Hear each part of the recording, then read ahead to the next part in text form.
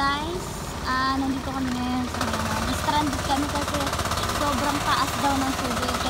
Titignan natin yung sila, hindi sila makadaan. So, dala na kami. Kotse dala namin kaya hindi rin kami makakadaan. So, ang mangyayari, titignan namin kung gaano kataas yung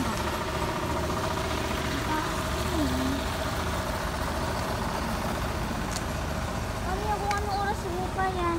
Ay bababa.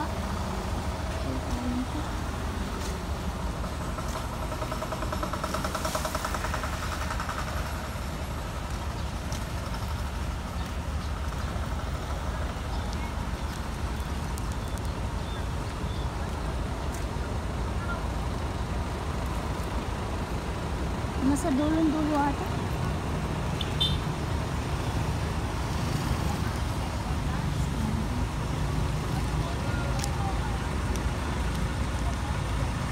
Ano nasa laki dulo.